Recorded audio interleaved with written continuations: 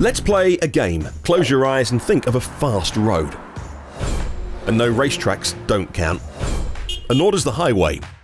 Think of something historical. Alright, not that historical, and not even that famous. Let me give you a hint. This is where Ferrari, Maserati, Lamborghini, and many other leaders in global motorsports were born. The Via Emilia. Because Made in Italy is not only about good food and designer fashion brands, but also about the most powerful engines in the world.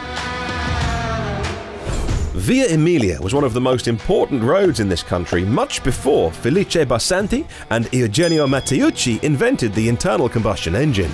In fact, its construction started 2,200 years ago on Marco Emilio Lepido's orders to connect Rimini and Piacenza with a road covering 262 kilometres. Where you see asphalt today, there used to be stones on which Roman soldiers would march and carriages would pull oxen transporting goods. And if you really want to impress an archaeologist, here's some treats.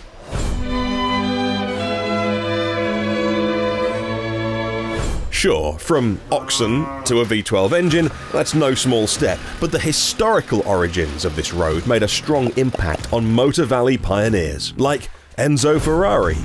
He, in fact, decided that just like the oxen pulling a carriage from the front, his engines should also be positioned in front of the driver. Unfortunately, with time, he had to rethink and reconsider that choice.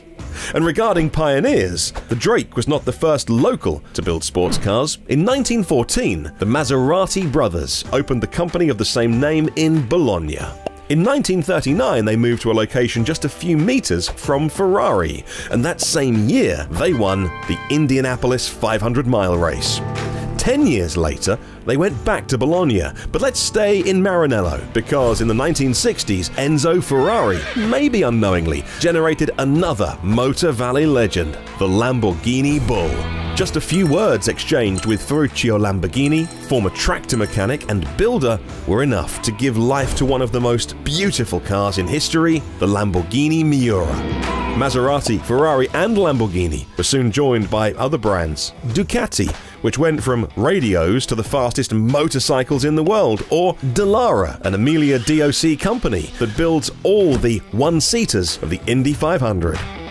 But since this land is known for its hospitality, it also welcomed and fueled the dreams of Argentinians like Pagani and De Tomaso. Because it doesn't matter where you're from, if speed is in your DNA, Via Emilia is always the place to be.